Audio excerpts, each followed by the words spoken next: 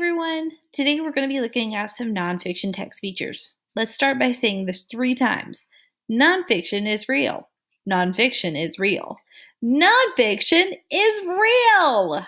Right, a nonfiction book is a true, factual story about real things or real events. Nonfiction texts help us give helps give us clues and information. We can find the main idea by observing nonfiction text features. Today, we are going to focus on the table of contents, the glossary, and the index. The table of contents helps us to navigate through the book. It tells us where to find something by providing us with a page number. Here you have an example of a table of contents. The table of contents gives you the title, or what we call in, in the text, a heading. It's like a title, but it's within the story and separates it into different sections. The heading would be the apple tree, and the page that it would be on would be page two. The table of contents gives us this information. Now, if we look into our text, our example text for today, we have the story of the amazing octopus. Here, as you notice, this is the title page right here and our cover page. And then we have the title page also with our title and our author's name. You'll notice there's no illustrator's name on here because there's no illustrations. This is a nonfiction text, so instead of illustrations, we have photographs. A little bit further in, still in the front of the book, you have the table of contents. The table of contents will always come at the beginning of the story before any of the reading. You'll notice the first section or the heading that we could read about would be introduction. And the last one would be the glossary. We're going to look a little further at the glossary here in just a minute, but let's go ahead and practice using our table of contents. What page would I look on if I wanted to read about where do octopuses live? Yes, you're right. I would look on page 9. It says, Where do octopuses live? That's on page 9. So let's go over to page 9. Here we have page 9. You'll see again, here's the heading, Where do octopuses live? And I would read this to learn where they live. Now, going back, we are going to look at our next text feature, which is a glossary.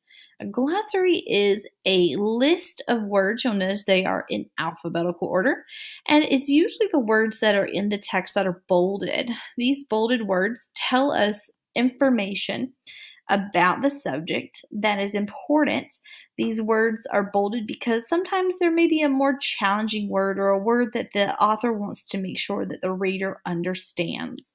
So, here, if you didn't know what a frog was, the, the definition of frog is an amphibian that lives in a wet habitat. Many of you may remember that a glossary occurs at the end of a book. Now, as if we are using our table of contents, we can look and what page would we look on to see where the glossary is? That's right. We would look on page 16. So we're going to go over to page 16 and we're going to check out the glossary. So here you have the glossary. So we have words. Notice this one starts with a B. Is coming before any of these other letters in the alphabet, so they are alphabetized.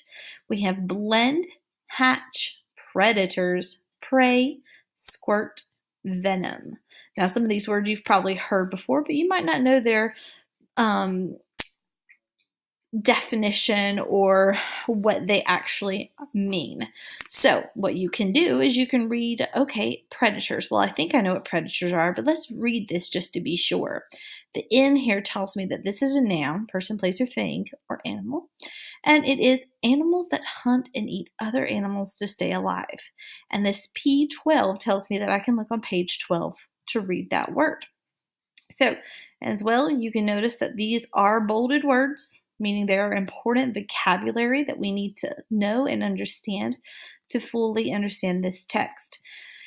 If we look back on page 12, we should be able to find the word predators. And sure enough, the first word on that page is predators. As we read now, knowing the definition of the word predators, it will help us to understand this text better. So, a glossary is a list of important words in the text that help us to understand the subject better.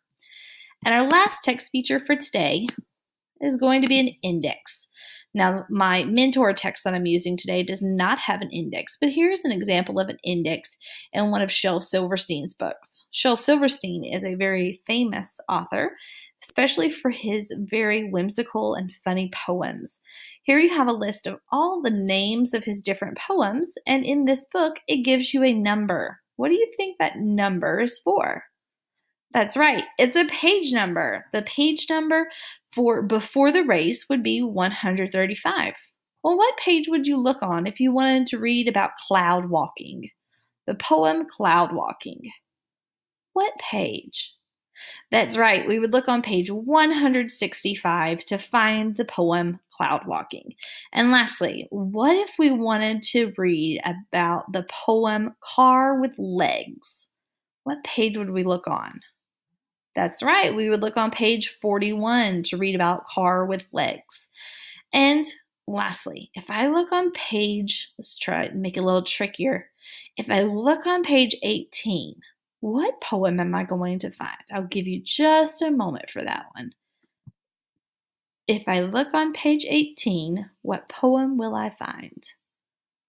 That's right, Apple with one bite missing. I'm going to find that poem. All right, guys, today you have learned about the nonfiction text features, the table of contents, the glossary, and the index. Stay tuned, and we'll learn some more later in the week.